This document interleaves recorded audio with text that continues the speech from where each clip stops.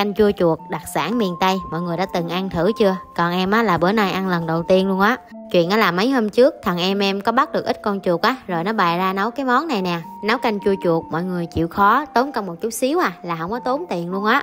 Thằng em em đi lại cái kinh, tét một ít ra mát non nè, rồi ra làm sao giường, đốn thêm một cây chuối non nữa. Nhìn kế bên á, thì có một cái bắp chuối sắp giải nên là nó cũng hái xuống luôn trên đường vô nhà thì nó tạt ngang, ngắt thêm một ít rau ôm nữa, để một lát mình bỏ vô canh chua.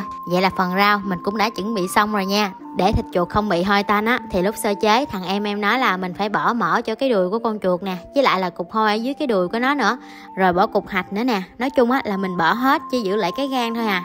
Sau khi sơ chế xong thì mọi người đem thịt chuột rửa qua vài lần nước muối với chanh cho nó thiệt là sạch luôn nha lúc mặn thì thấy hơi lâu chứ tới khi nấu là một chút xíu à. Nhanh lắm mọi người. Nhưng mà nấu canh chua chuột thì nhất định mọi người phải nấu bằng cơm mẻ nha. Như vậy nó mới đúng bài. Còn nếu như mà nhà nào không có thì mình lại hàng xóm xin nha. Trong nồi nước mẻ em có cho vô ít cộng xả nè. Mọi người nấu sôi lên rồi mình cho thịt chuột vô nấu cho chín nha. Mình nêm nếm lại cho vừa ăn rồi vớt thịt chuột ra cắt thành từng khúc nhỏ cho vào cái chảo á rồi mình thêm nước mẻ vô cho nó xăm sắp. Ở đây á, thì em có thêm tỏi phi nữa nè rồi ngò ôm với lại là ớt sắc nữa. Bắt cái chảo lên bếp rồi mình nấu cho sôi lên. Mọi người thích rau gì á thì mình bỏ vô nhúng á, rồi ăn liền. Công nhận á, cái món này mình chấm với muối chanh á, ngon dữ lắm luôn nha mọi người. Chỗ em thì trời đang mưa nữa, ăn món này công nhận là đúng bài luôn á. Mà em thấy thịt chuột của mình ngon dữ lắm nha, kiểu như nó dai dai mà nó sần sật, giống như là thịt gà vậy đó. Nhưng mà nó còn ngon hơn thịt gà nữa.